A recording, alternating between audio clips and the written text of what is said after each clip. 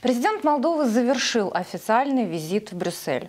У него состоялись встречи с руководством Еврокомиссии, Европейского совета, высокопоставленными чиновниками ЕС, с руководством НАТО. Без преувеличения к визиту было приковано самое пристальное внимание прессы, да, пожалуй, всего политического класса. Как прошел этот визит? Как встретили президента европейские чиновники? А главное, как это все скажется на ситуации в самой Молдове? Ответить на эти вопросы, я полагаю, дело принципа. Вы смотрите Акчен ТВ. Здравствуйте.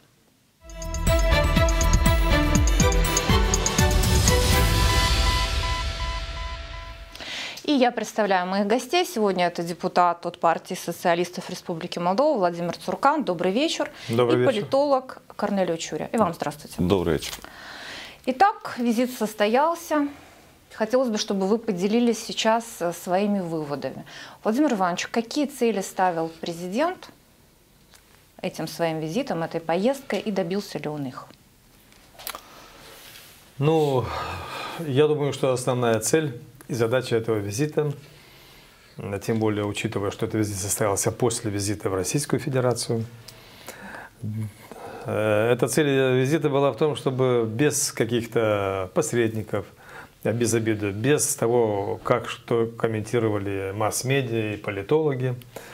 Э, лично, как говорится, в беседе с глазу на глаз довести до сведения всех тех, кого назвали, еврочиновников самого высокого уровня, это действительно так, э, о том, каковы позиции президента, каковы проблемы видит президент, избранный всем народом, потому что Естественно, что он не мог э, и не должен был высказывать свои личные какие-то суждения, мнения, а исходя из того, э, какова ситуация в стране в результате анализа, и самое главное, а каково мнение того самого народа, который его избрал.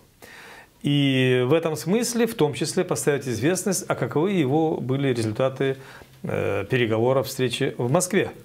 Так. Для того, чтобы сопоставить и определиться, как дальше двигаться Молдове в сотрудничестве с Евросоюзом и э, Молдове в сотрудничестве с Россией.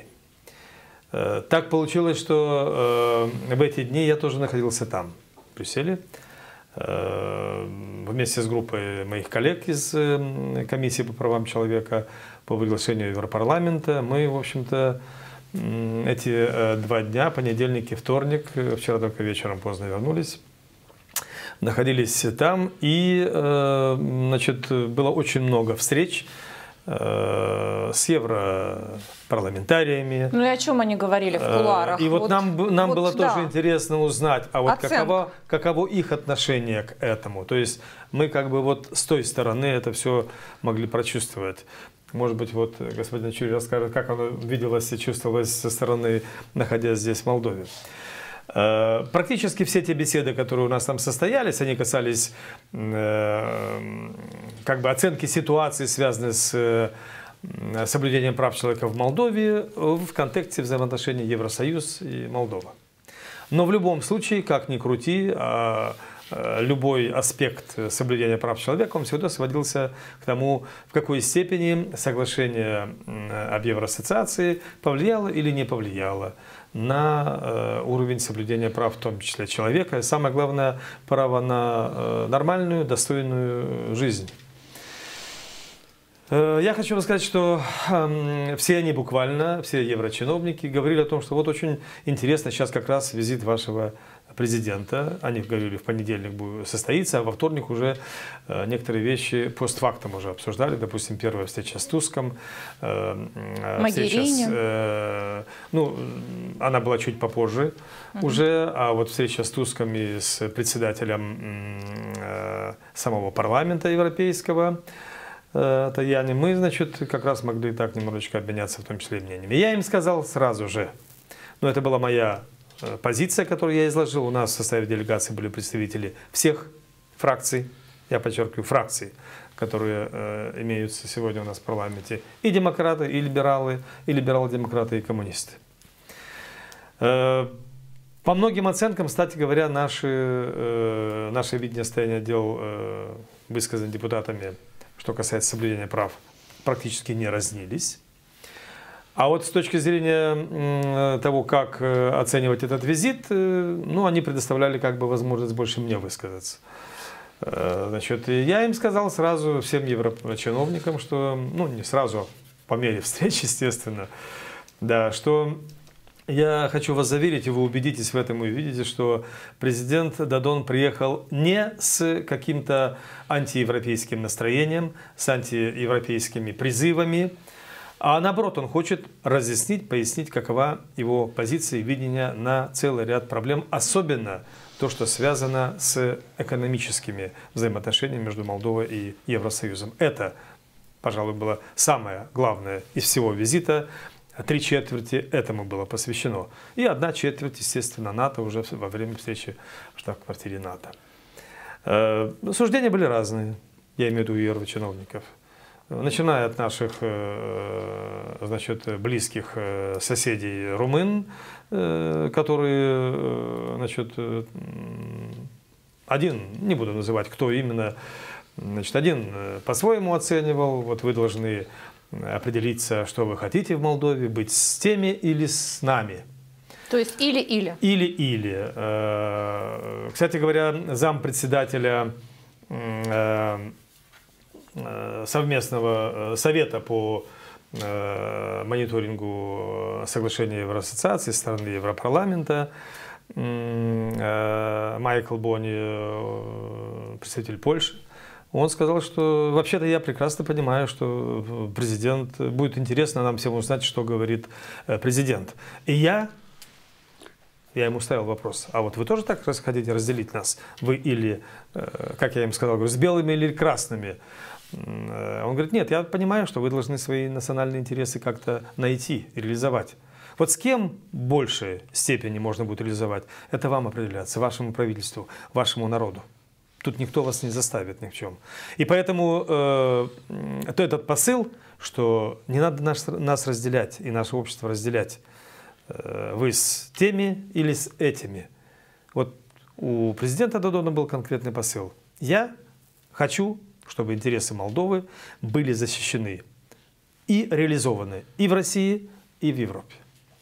Благодарю вас за такой подробный ответ. Э, господин Чуря, вот вы же тоже внимательно наблюдали да, за фоном который сопутствовал э, этому визиту, да и до визита очень много говорили. Вот поедет сейчас президент вот в Брюссель, интересно, как он там будет говорить? А сможет ли он повторить некоторые вещи, которые он говорил в Москве? Вот так прямым текстом люди интересовались.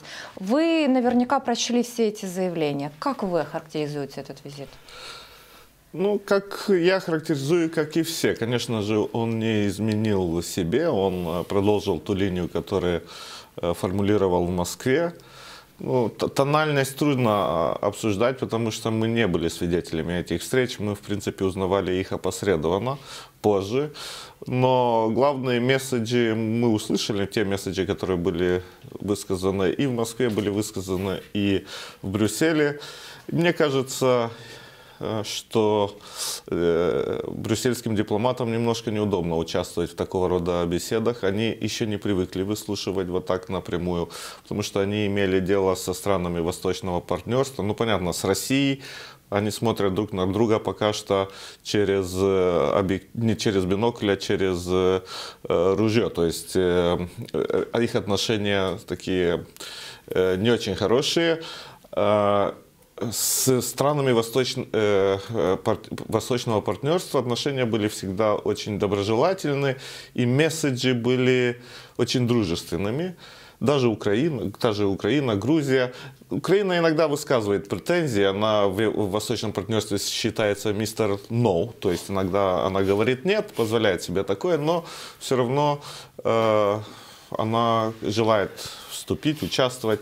Вот впервые э, европейские еврократы, как мы их называем, выслушали такой более жесткий дискурс. Они, и я так понимаю, из того, что сказал и господин Цуркано, они, скорее всего, промалчивают, так э, мотают на ус. И они, То я есть они уверен, больше слушают, чем больше говорят. Больше слушают, сейчас. я уверен, они да. не очень реагируют. Они еще не знают, как реагировать на такого рода поведение. Ну, я так думаю, это была в основном реакция еврократов. Они не очень быстро умеют из, поменять свое поведение э, в соответствии с изменением какого-то курса. То есть они медленно реагируют, и это, естественно, для бюрократов. Э, в Молдове мы видели реакцию, конечно же, правые, гражданское общество очень так болезненно отреагировало mm-hmm. на, на этот дискурс. Э, это часть общества, которые, э, скажем так, я их называю еврофилами, то есть люди, которые считают, что все наши национальные интересы, они связаны с интеграционными процессами mm-hmm. в Евросоюз. В Евросоюзе и Евросоюз важнее суверенитета Молдовы, вот как-то так. Сначала Евросоюз, а потом Евросоюз прежде всего, используя лозунг и парафразируя лозунг Трампа, вот Евросоюз прежде всего, Молдова э, идет вслед, все зависит от Евросоюза. Вот позиция этих людей, конечно же, очень критична в отношении Додона. И даже где-то присутствует и элемент истерики. Я, кстати, отмечу также, что часть гражданского нашего общества побывала в Брюсселе во время вашего угу. визита. И, скорее всего, это было сделано специально. Им тоже предоставили возможность высказаться. И я думаю, они э, критиковали э, президента уже там, находясь в Брюсселе. И не только президент, они, они власти. Э, вопросы задавали, ну, похожие на декларации. Что? Чуть-чуть. По моей информации, чуть-чуть, но до. До, ну, позавчера они были. Насколько я наслышана, да. они задавали вопросы, похожие на декларации. Вот скажем так. Да, то, то есть, есть воспользовались возможностью. Вот, ну, это естественно, это часть общества. Я тут, э, которые, кстати, я себя не причисляю, еврофилы, они будут себя вести всегда именно таким образом. И тут э, как бы критиковать нельзя. Была декларация от Демпартии. Все-таки Демпартию я не причисляю таким стопроцентным еврофилом. И сама декларация по отношению к господину Додона, Додона сохраняла определенную отстраненность от, и от позиции Додона, естественно, она была как-то критикована, но и от позиции еврофилов. Демократы сказали, что мы должны как-то уйти, отмежеваться от этих вечных дискуссий по поводу, что лучше, Евросоюз или э, э, интеграция да. в Евразийский экономический союз. Демократы вообще много чего сказали. Если позволите, я бы хотела э, позже задать конкретные угу. вопросы по их э, реакции. А теперь я хотела бы вас вернуть все-таки к еврочиновникам. Я согласна с вами, господин Чуря, в отношении того, что э, европейцы на самом деле ведь они не привыкли к такой риторике, потому что до сих пор страны того самого восточного партнерства в лице своих лидеров, они что приезжали и говорили? Они говорили, мы ваши, буржуинские, знаете, то есть посыл был четкий. Ну, буржуинские не говорили. Да, ну это я так образно сравниваю, да, то есть мы понимаем, откуда да. здесь э, корни. Но э, и вот, вот впервые, на самом деле, я соглашусь, приезжает э, глава государства и говорит о том, а вы знаете, я тут сел перед этим визитом, уважаемые господа еврочиновники, и посчитал, посмотрел, и привез вам цифры. И цифры эти совсем неутешительные. Как раз перед визитом э, господин Дадон опубликовал на своем блоге данные по поводу экспорта э, в страны ЕС после того самого... Ну, не только экспорт, там масса цифр. Ну, нам-то и европейским чиновникам интересно прежде всего ЕС и Россия. И там, и там падение. Там 48, там 350 с чем-то. То есть я имею в виду в Российской Федерации за эти годы. То есть э, инвестиции тоже ситуация очень тяжелая. И вот с этими цифрами приходит президент и говорит им, вот вы знаете, мы все здесь посчитали, мы посмотрели, нам-то что обещали, а что получили? Вот э, и наверняка это были непростые разговоры. Естественно, и э, в общем-то, когда начинаешь говорить, и вот даже в ходе ну, вот моих э, с ними контактов, нашей группы, когда я тоже об этом говорил, они молчаливо соглашались, что да, действительно, к сожалению, не все так получается, как думалось, как думалось. И когда начинаешь объяснять, в чем разница между Э, относительными процентными соотношениями и конкретными реальными абсолютными цифрами, э, тут, конечно, э, других контраргументов нет. Именно эти, контраргументы, именно эти аргументы и были приведены нашим президентом.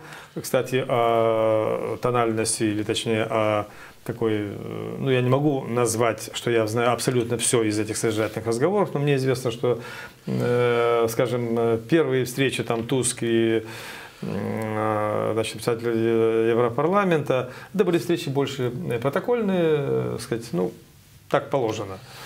Э, вот что касается Магерини и Юнкерса особенно, это были встречи, где был диалог. где был диалог, может быть, потому что это более такие люди, скажем, от практики, особенно Юнкерс. Ну, правительство, как бы, получается. Да. да. Это Еврокомиссия, считай, это правительство, да. комиссар это тот же министр, скажем, по направлению. Да. И э, ход э, и содержание беседы было более приближенно к сути, вот в том числе по этим цифрам. Э, допустим, господин Дадон сказал, что вы понимаете, в чем дело? Вы у нас покупаете сырье. Угу. Потому что в момент когда оно произведено, э, цены, в принципе, э, достаточно бросовые, а наши производители вынуждены по этим ценам продавать, потому что нужно хоть что-то как-то компенсировать, а потом к нам возвращается уже готовая продукция. Корне...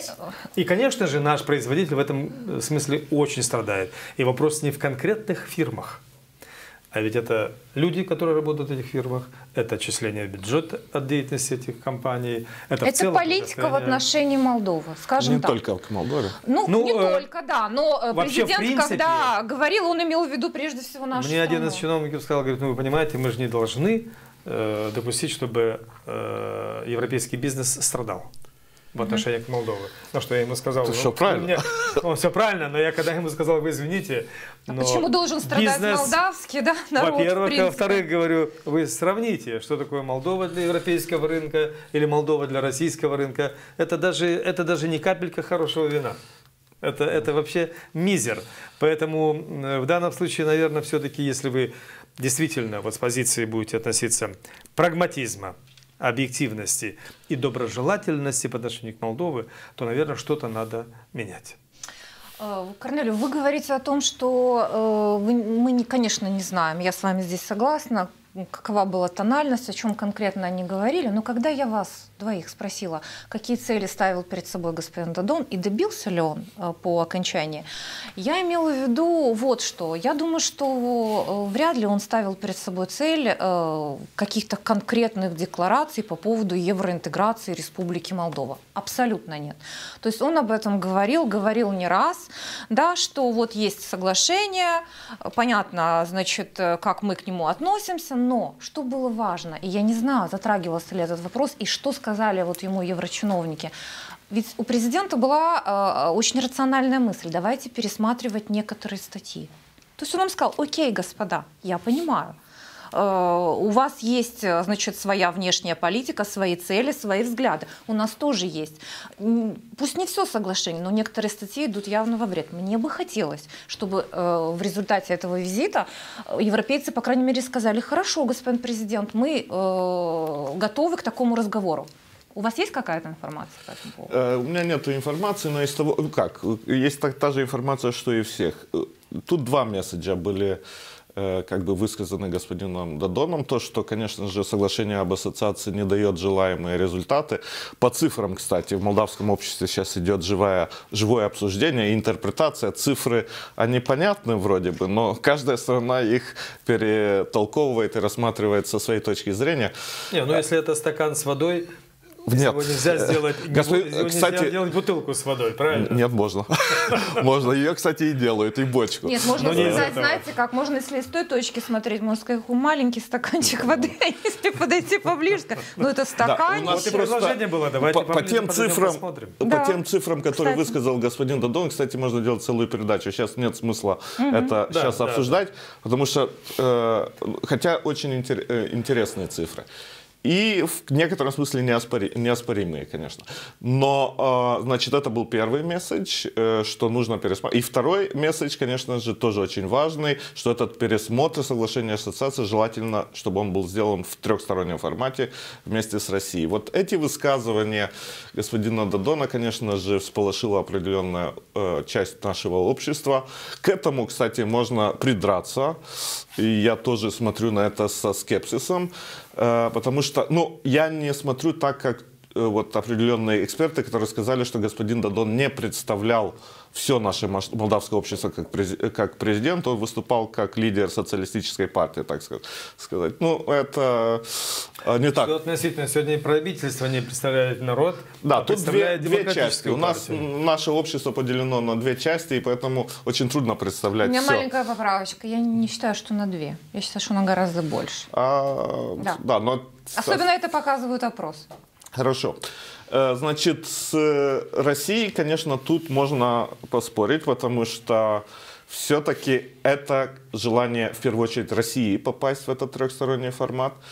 Э, выгодно ли нам это или нет, тут э, нет одно, э, одного мнения. Мне кажется, мы не должны продвигать эту идею.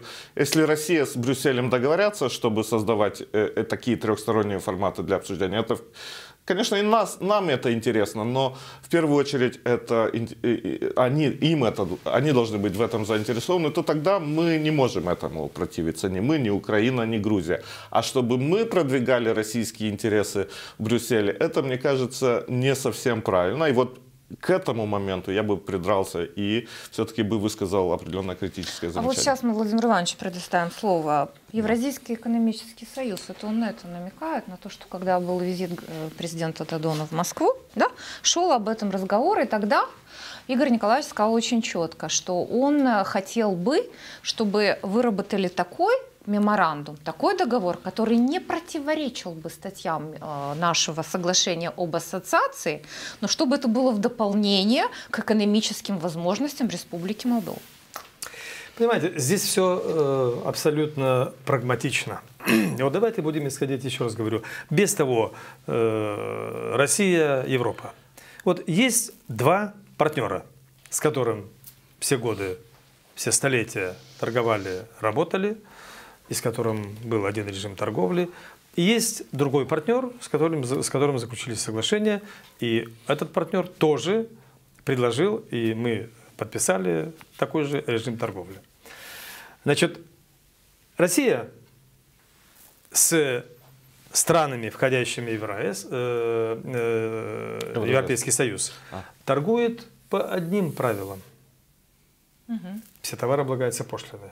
Да. Раз. Два требования по качеству, ГОСТам, э, э, техническим требованиям и так далее, и так далее, совершенно другие. Это тоже надо признавать и понимать. Третье. Ведь они ведь тоже прекрасно понимают.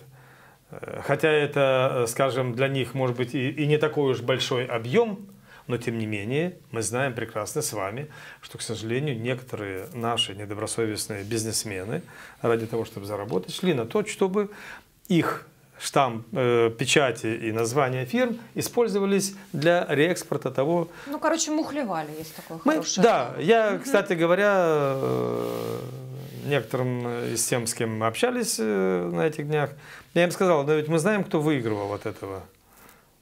Бизнесмены чьих стран выигрывали от э, реэкспорта яблок или от реэкспорта мяса или от реэкспорта слив. Были европейцы, мне, мне кажется, что и так далее, и так далее. Нет, сейчас и Польша, яблоко, да? Я права? Ну, это все люди это все знают. знают Польша, конечно, яблоко. Да. На что господин да. Боли улыбнул, Бонни улыбнулся, он поляк, улыбнулся и смущенно так. Ну да, мы это ну, об хорошо, этом знаем. что смущенно. Не-не, люди достаточно, кстати говоря, искренне, может быть, там за исключением одного-двоих. Но ведь, смотрите, речь не идет о том, что, ай, давайте, значит, все трое сейчас сядем и начнем переговариваться или обсуждать. А речь-то идет, идет, и Дадон поставил не о переговорах тройственных, а о том, чтобы провести. Молдова в этом заинтересована. Прежде всего. инициатива должна принадлежать Молдове. Слышите? Дорогие мои, давайте вот... Но мы я с вами говорите согласен. Россия, да, я не согласен. а мы с вами... Молдова. Не, не, давайте я доведу свою мысль uh-huh, uh-huh. Давайте, Молдова заинтересована в том, чтобы экономический интерес был реализован. И вот они говорят, с Евросоюзом. Вот давайте посмотрим, в чем проблемы для нашего экономического интереса. России говорят, в чем проблемы нашего интереса. У вас какие требования, у вас какие требования. И если мы видим, что Молдова от этого не зависит от Молдовы, вот тогда мы предложим, дорогие мои, потому что, конечно, когда двойственный, э, двойственное соглашение международное, Евросоюз, Молдова, ну, Россия, как бы, получается, третья страна не должна в это дело вмешиваться. Но если реализация одного затрагивает интересы партнера, и партнер говорит этому партнеру, давайте мы обсудим с тем, от кого я рын, от рынка которого я тоже завижу. Угу. Я не исключаю, в принципе, как возможность проведения таких консультаций. Они ни к чему, в принципе, никого не обязывают, но они позволят выяснить, где же то самое рациональное зерно, или точнее, где эта возможность найти Владимир Иванович, это ведь зрения. не новая идея. В принципе, сказали «да» в России устами президента Путина. Вы помните, во время визита Игоря Николаевича в Москву он выступил с предложением «давайте садиться с европейцами и говорить». Но он сказал, есть говорит, ну наше это- желание. ну вы Да, должны, вы должны этим заниматься. Абсолютно. То есть мы- у нас есть желание двух сторон, и как не в первый раз потому что я сейчас намекаю тонко на Украину, да, то есть когда точно так же приглашали э, представителей, э, значит, Евросоюза к этому разговору, они что тогда устранились, что сейчас? Ну, у них, кстати, был там очень длительный, ну, со слов, я не, не в теме полной, в полной мере, но со слов европейских чиновников, они говорят, у нас такая практика была, и приводят пример Украины. Да, но не- Что но- мы но действительно э, долго э, рассматривали, до обсуждали. 2016 На что я года. им сказал, дорогие мои, но ведь э, структура экономики Украины не сравнить со структурой экономики Молдовы и объемы и так далее, и так далее. Но давайте посмотрим, может быть, у нас этот вопрос будет проще решаться, проще. Э, Поэтому я думаю, что здесь э, вопрос задан, высказано, и в этом ценность этого визита. В И этом нам ценность. сказали, я вас услышал. Нам не сказали нет, Я же говорю, нам сказали, я вас услышал. да. Да. И это главное, что услышали. Хорошо. Да, я все-таки позволю себе э, на, на эту же проблему посмотрю с другой э, точки зрения. Господин Цурканов смотрит на нее с экономической точки зрения, кому, ко- кому что было выгодно экономически. Это правильно. Но на проблему, с моей точки зрения, нужно смотреть политически. Ведь отношения между Евросоюзом и Россией, они очень сложные. Европа э, Евросоюз внедрила санкции против России. Это почти что экономическая война, которая из-за Крыма, кстати, и Донбасса, которая э, да- э, может даже пере- переросла чуть больше, чем экономическую вой- войну. И в этот момент, когда наши отношения с Украиной очень важны, наши отношения с Евросоюзом тоже очень важны. Мы приходим и говорим европейцам, которые воюют с Россией, а давайте мы э, в, в наш формат пригласим и Россию. Понимаете, с экономической точки зрения все верно, но с политической точки зрения это рассматривается Евросоюзом скорее как предательство. Очень говорю коротко про политическую точку зрения. Корнелиус, многим могу согласиться, что говорите вы, но не рассматривайте, пожалуйста, на сегодняшний день как Европу, как нечто единое целое. Даже, пожалуйста, евробюрократию. Вот именно поэтому- Не рассматривайте как именно единое поэтому целое, потому что согласен, на сегодняшний можно день было нет немножко единой подождать. позиции. Ни по Это единая санкциям позиция, э, которая... в ищ- России. Да, но санкции, да. они существуют. Я согласен, что, возможно, эта позиция Евросоюза будет меняться. Конечно. И поэтому мне показалось, что вот это поведение господина Додона, это он полез э, поперед батьки в пекло, потому что иногда стоит воздержаться по определенному. Вот здесь, мне кажется, господин Додон мог бы и не особенно на этот момент Понимаете, в чем дело? Ситуация экономическая такая, что там уже не пекло, там уже горим, горим уже. В этом вся проблема. Мы просто горим. Да. Вот. Не только и в этом случае, и в Украина, этом кстати, случае и- мы говорим, дорогие мои, да, у вас есть проблемы. У вас есть проблемы. Ну, вы будете разбираться. Сейчас проблемы и в самом Евросоюзе. Конечно. Они, кстати, а об этом не говорим, скрывают. дорогие мои, вы тоже горите. У вас Они тоже более- непонятно, что сейчас будет во Франции, Я вам могу сказать, что Германии. Да. ну вот в присутствии всех моих коллег, это не какой-то конфиденциальный был разговор, в присутствии моих коллег, они сказали, вы знаете, в принципе, нам сейчас даже не до Молдовы. У нас сегодня юг Европы проблема большая. У нас сегодня огромная проблема беженцы. У нас проблема предстоящих выборов в ряде стран Европы. У нас э, проблема Трамп. Да. Поэтому, в принципе, Кстати говоря, да? в Так, принципе, говоря уже, говоря уже о том, о чем некоторые говорят, вот мы обязательно должны, должны идти, интегрироваться, мы должны сотрудничать, из этого извлекать выгоду. Если мы ради политического какого-то интереса значит, э, будем забывать о своей экономической необходимости, я даже говорю не о выгоде, а о необходимости, то тогда мы просто перестанем э, существовать. Ну, Просто в перестанем тяжелые политические времена, конечно, прежде всего, перво-наперво нужно заниматься экономикой. Еще немного политики добавляю в нашу с вами беседу. Конечно, речь идет э, о встрече с представителем НАТО, с заместителем господина э, Столтенберга. Это Роуз Гетте Мюллер. Да, э, значит, женщина-дипломат, известная очень, э, э, значит, я считаю, что она и политический еще деятель, ко всему прочему. Вот. Эта встреча состоялась, и что интересно, президент очень четко заявил то, что говорил до сих пор. Он стал говорить о том, что нам необходимо, чтобы НАТО подтвердил наш нейтралитет. И он, значит, высказался против открытия офиса НАТО.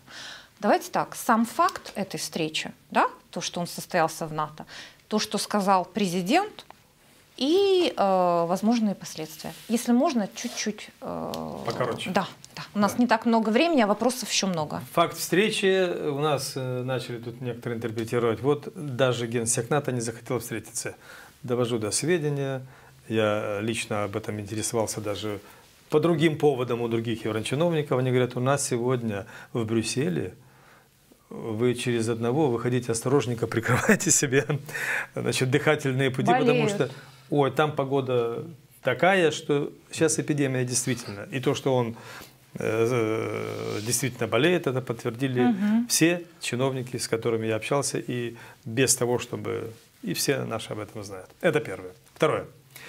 Э, в принципе, э, в данном случае не столь даже и важно, генсек либо заместитель, потому что, опять же, цель была довести до сведения сигнал, посыл, мнение. И тут было более жестко высказано, конечно же. Во-первых, было сказано, у нас есть уже информационное бюро НАТО, раз.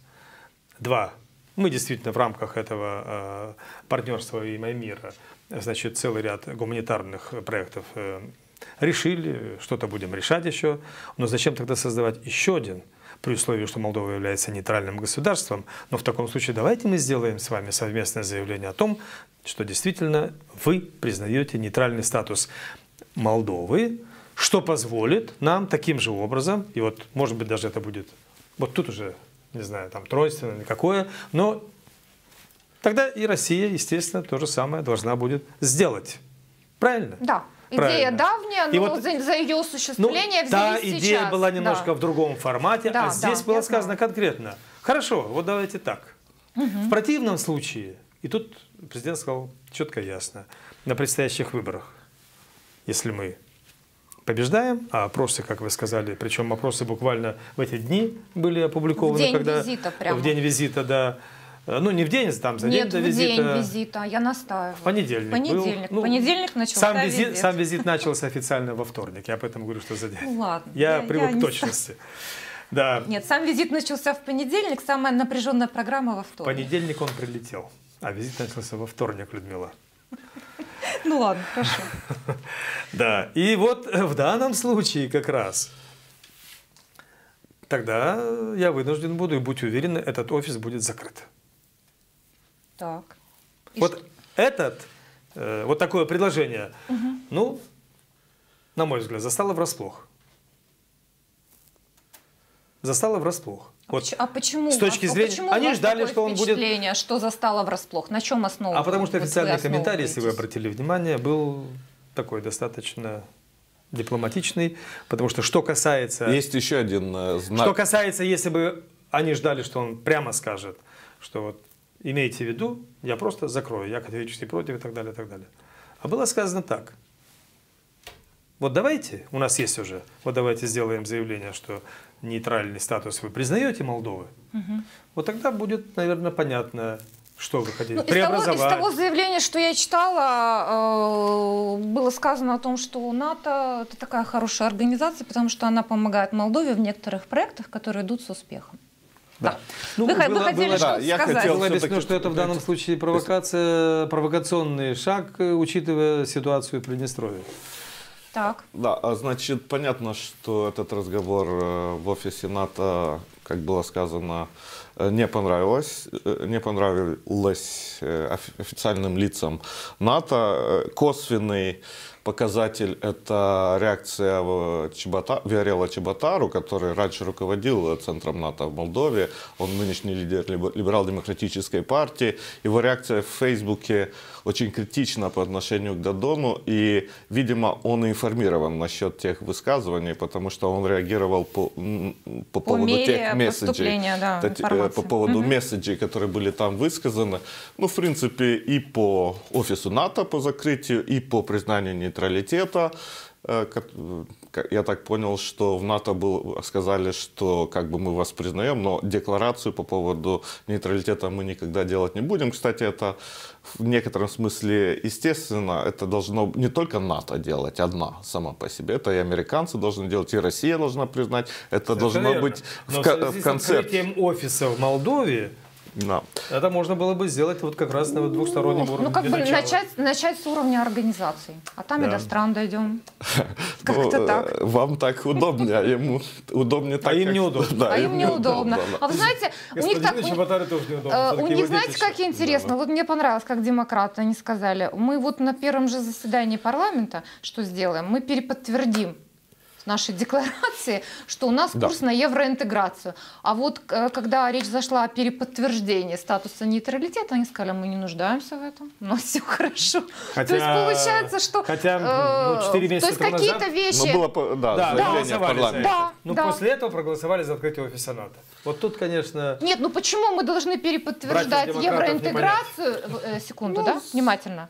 Почему мы должны переподтверждать евроинтеграцию, а не, можем переподтвердить э, значит, наш э, статус нейтралитета? Тем более есть такие прецеденты. Знаете, да, в ООН ну, вот Туркменистан обращался. Туркменистан. То, да, о чем да. я говорил. Не приз... И признали. Это, это как раз да. то, о чем я говорил с господином Дадоном. Иногда хорошо не лезть поперек батьки в пекло. Иногда хорошо не делать декларации, которые не обязательно делать. Вот демократы посчитали, что по поводу Евросоюза эта декларация естественно, она Э, гармонично вытекает из позиции Демпартии, и она всех удовлетворит. Э, даже те, которые не удовлетворит, они не удивятся, что такую декларацию нужно делать. А по поводу НАТО, это военный вопрос, это уже более щепетильный вопрос, и поэтому не обязательно делать вот такие декларации. Поэтому здесь, мне кажется, позиция Демпартии, если она не подтвердит еще раз ту декларацию, которую она, в принципе, поддержала в парламенте, то мне кажется, что ничего страшного в этом нет. То же самое, как замылили тот самый вопрос о законе о нейтралитете Молдовы. Во главе этой комиссии представитель э, демократ, ну, есть, демократов есть. пока еще, а, числа этих 14 независимых э, вот. Но, тем не менее, значит, эта группа вот так вот медленно, медленно, как говорит, хочешь замылить вопрос, создай комиссию. Вот в данном случае то же самое произошло. Мне кажется, что это вопрос все-таки, э, вот с точки зрения экономики, он вряд ли имеет существенное значение, а вот с точки зрения политической он имеет значение, потому что он дает определенные гарантии того, что раз и те, и другие это Вы имеете в виду признание нейтралитета? Да, да, да. Если и те, и другие это подтверждают, значит, они таким же образом могут быть доброжелательны по отношению к Молдову и в решении вот тех самых экономических проблем. Но это не должно быть односторонне. Как нам Нет, бы хотелось. Односторонне, да. ну, НАТО это не односторонняя организация. Это да. блок, в который входит целый ряд государств. Угу. Блок. Поэтому это будет не одностороннее заявление, а это заявление должно быть у них проконсультировано, естественно. Просто генсек не может такого заявления сделать. Кстати, у НАТО тоже есть проблема, так же, как у Европы. Мы даже знаем, в чем они на сегодняшний день заключаются. Да? А, вы знаете, я хотела бы, чтобы мы сейчас, вот, если можно, кратко поговорили все-таки о том, какое влияние этот визит оказал на политическую ситуацию все-таки, потому что вы начали там от, отрывчато, да, начали говорить, вот демократы высказались, э, там еще, значит, э, некоторые ревностно господин Чеботару и другие.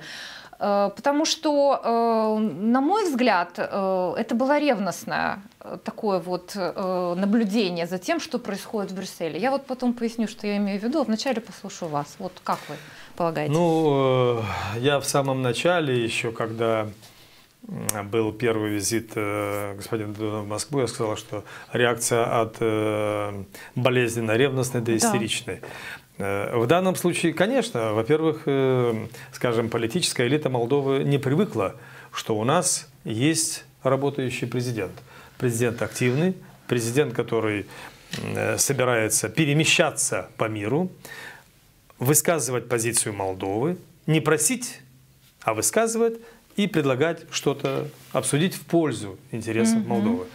Э, то, чего не делал никто, будь то предыдущие президенты, исполняющие обязанности президента, то, что не делали ни премьеры, никто практически этого не делал. Потому что все брали под козырек и все. Вот в этом смысле это ревностное. Реакция, ну вот я бы очень хотел бы, чтобы эта реакция была э, все-таки э, отталкивалась от того, а как к этому отнесся, отнесется народ. Потому что в конечном итоге вся политическая элита, она элита только потому, что она получила в той или иной степени поддержку народа.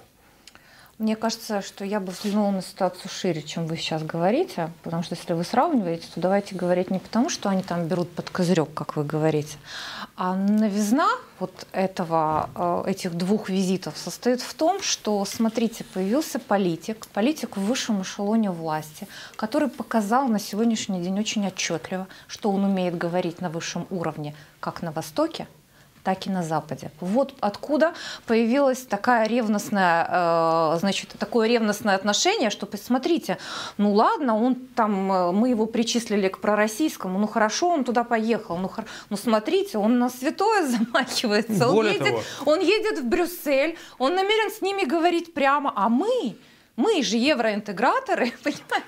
Господин... Посмотрите, я извиняюсь, э, посмотрите, какие сразу же сегодня были шаги встреча с послом Соединенных Штатов, с послом встреча России. с послом России, mm-hmm. для того, чтобы их проинформировать, mm-hmm. а соответственно через послов правительства, руководства этих стран о том, какова была цель результаты и как были поставлены вопросы. Причем это все проверяемо. проверяемо. Да, если позволить... я вынуждена вас прервать, господин Я Чуря. уже закончил. Значит, я себя с самого начала не определял как еврофилом, еврофила, несмотря на то, что я за европейскую интеграцию э, в более таком резком варианте, чем это видят социалисты. Но дело в том, что вот та позиция, которую мы раньше занимали, что только говорить хорошее Евросоюзу, она немножко не оправдывает себя. Вот украинцы, они не говорят все хорошее, они и критикуют Евросоюз, но ситуация их заставляет быть послушными, потому что они во многом зависят от Брюсселя. Мы, не, мы еще были более послушными. И от этого мы кое-что выиграли, но кое-что проиграли. Тот факт, что теперь у нас есть во власти люди, которые продвигают очень уверенно европейскую интеграцию. Но есть во власти люди, которые критикуют другие люди, кстати, это нужно сказать, другие люди, причисляемые к другой э, партии, которые критикуют Брюссель. Это, с моей точки зрения, шаг вперед. Потому что мы сейчас говорим с Брюсселем на двух э, языках. И они иногда имеют шанс выслушать то, что еврофилы могли бы сказать, но они никогда не скажут это, потому что это не комильфо. Вот с другой стороны появился политик, который вот те наши критические замечания по поводу Евросоюза, которые есть в обществе, но они не могли... Не мог... это подстегнет, да? Это не то, что подстегнет, это доведет до Брюсселя ту информацию, которая раньше не Ну и доходила. подстегнет их к, ну, это я не уже знаю. к решению каких-то... не подстегнет, это я не знаю, но я считаю, что это положительная вещь. То, что Дадон там иногда критикует в Брюсселе их поведение, это, кстати, у них в Европе тоже появились критики внутренние, поэтому они к этому тоже должны привыкать, это, в этом нет ничего страшного. Но я еще раз отмечу, что все-таки визит Дадона попытались нейтрализовать. Было несколько делегаций гражданского общества, экспертов, журналистов, да, которые в этом... Господин, Лупу. Лупу, а, один ну, голос я, говорим, да, да, с Евронестом. То есть, да. Э, я да. спросил, кстати, а что было какой-то форум? Нет, просто вот он приехал. Не, я имею в виду, не, не, не, я не знаю, кто хотел нейтрализовать, но в Брюсселе была череда делегаций, это было немножко странно, курсе, потому курсе. что... Были да. и э, внепарламентская оппозиция, скажем скажем так, тоже были там. Я в курсе этого. Но вы знаете, я еще одну маленькую деталь, говоря о реакции э, значит, Евросоюза. Вот тот факт, что для них был холодный душ после 2014 года со стороны э, значит, э, большинства проевропейского, скажем так. Хотя мне не нравятся эти слова по-русски, проевропейские. Те, которые говорили о.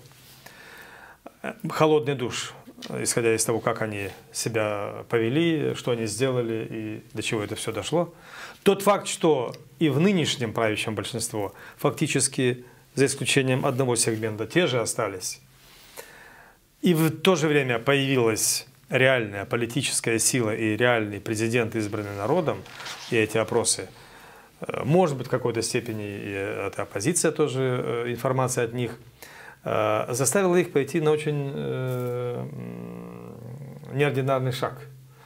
Значит, еврочиновники нам сказали, вы знаете, сейчас принято решение о том, чтобы все гранты, кредиты для Молдовы выделялись только после того, когда будет обсуждено решение Совета Министров. А это означает согласие всех 27 стран. То есть а это будет. очень серьезный вопрос. То есть тяжелее будет, я думаю. Не, я, я, говорю о том, что, я говорю о том, что они это поняли, прочувствовали, и сейчас это будет уже не микроскоп, это будет электронный э, микроскоп. Микроскопа тем, никогда что... не было. А, я могу сказать, что я не сомневаюсь. Ну, да. я Принцип не... Черчилля. Я сказал одному из них, он засмеялся, говорит, как вы его за... хорошо мне привели, говорит, ну. Я не сомневаюсь в том, что э, европейцы прагматичные люди, точно так же, да, они будут рассматривать. Они деньги умеют считать. Умеют, вне сомнения, да. Иногда они просто дают эти деньги не тем, кому нужно, но потом они как бы ну, поэтому, кстати, понимают господин, и пересчитывают. Кстати, господин Дадон именно поэтому попросил. Вы хотите знать, где деньги ваши? Угу. Вам говорят, что это не ваши деньги. Это в том числе и ваши деньги. Вот помогите нам разобраться. Помогите. Э, это я все к чему сейчас веду, что, конечно, много ситуация было, в много, тоже много было, да, да, много было сказано по поводу этого визита. Ну вот мне запала одна фраза в душу, которую сказал президент. Он сказал так: я еду для того, чтобы обеспечивать национальный интерес Молдовы. И мне показалось это самым важным. И в, в одном визите, наверное, и во втором визите. То есть э, мне кажется, эти слова самое главное. То, чего мы все, собственно, ждем от нового главы государства. Благодарю вас за эту беседу. Мне она показалась интересной и содержательной, насыщенной. Приходите к нам еще. Уверены, будь уверен, это взаимно. Спасибо. Вы смотрели программу «Дело принципа». Я желаю вам всего самого доброго и доброго вечера.